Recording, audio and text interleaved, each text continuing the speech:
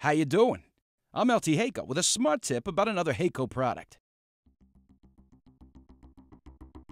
Heyco Liquid Tight Breakthrough Plugs provide liquid tight closure as both a plug and a bushing.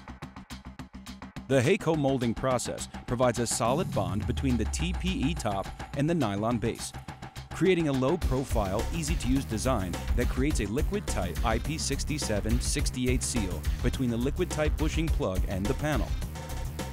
They feature Heyco's snap-in stepped finger design to fit multiple panel thicknesses.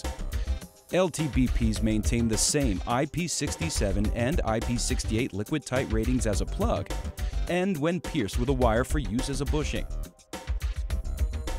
They come in mounting hole diameter sizes ranging from 1 2 inch to 1 and 1 2 inches, can be used in panel thicknesses ranging from 2 hundredths of an inch to 1 quarter of an inch, and come in a wide variety of colors. And that's the smart way to stay connected with Heyco.